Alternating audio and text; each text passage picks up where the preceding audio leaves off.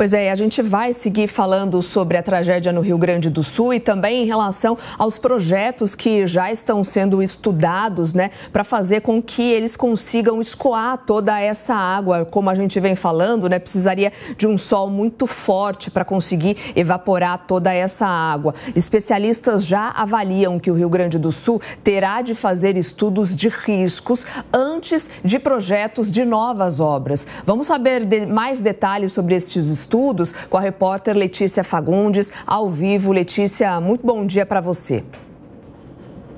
Bom dia a todos. Então, sigo aqui no Rio Grande do Sul, né, na cidade de São Leopoldo, está chovendo nesse momento novamente, é uma garoa, mas ela não cessa, então isso molha, né, o chão aí bastante, encharca. Como você mesmo falou aí, essa cidade esponja, cidade provisória, tudo isso, né, cidade isso, cidade aquilo, mas as pessoas aí que estão em estudo precisam ver qual é o risco disso, porque mais do que tudo, o estudo de risco, levando em consideração esses eventos extremos que a gente está passando, não dá mais para fazer essa questão de erro e acerto. O erro e acerto aconteceu tudo o que aconteceu. Por exemplo, essas pontes que a gente tem, essas casas que vocês viram em vídeo sendo carregadas inteiras, né? São construções de 20 anos, 30 anos.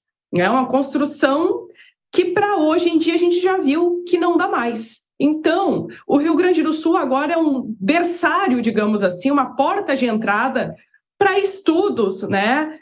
É, para engenharia civil, para outros outras profissões aí, para que não se leve mais casas inteiras, inclusive a gente tem casas novas que aconteceu isso. Essas estruturas dos prédios também, né? São estruturas que tem que tomar muito cuidado, porque as pessoas muitas vezes acreditam que o prédio não caiu, não foi levado pela chuva, mas ele pode daqui a um tempo mais desabar.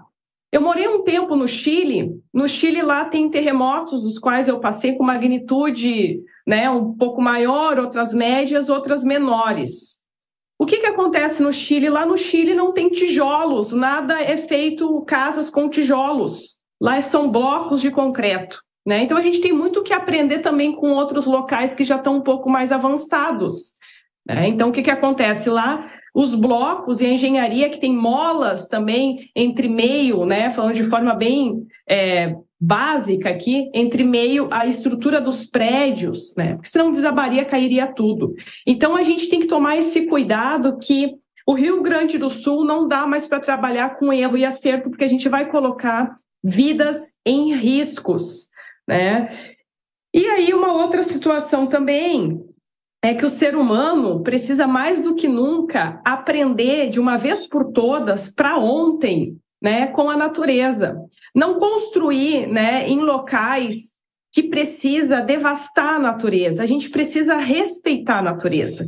Por uma série de falta de respeitos com a natureza, que a gente está olhando essas imagens que estão passando agora, né? É muita devastação, são morros que são tirado árvores, isso tudo já foi passado aí, inclusive até em redes sociais, é, né? Pequenos vídeos mostrando de forma bem sim, simplista ali e fácil de compreensão para qualquer pessoa entender que se tu retira do morro árvores, pedras, enfim, que aquele morro precisa, aquilo ali vai vir abaixo uma hora ou outra. Então a gente agora, mais do que nunca, tem que aprender com tudo isso. Já, tem, já estamos no momento agora de começar a falar em reconstrução em algumas áreas, lembrando, porque as áreas de vulnerabilidade social seguem embaixo da água aqui na cidade de São Leopoldo, principalmente as que estão depois do rio do Vale dos Sinos, o Rio dos Sinos. Pois é, Letícia, deve começar agora uma fase ainda mais difícil do que a gente está passando, mas de fato precisa olhar com atenção daqui para frente o que vai ser feito para que os danos né, causados daqui para frente não sejam ainda mais irreversíveis. A gente volta a conversar ainda hoje. Obrigada por enquanto pelas suas informações. Bom trabalho para você. Obrigado.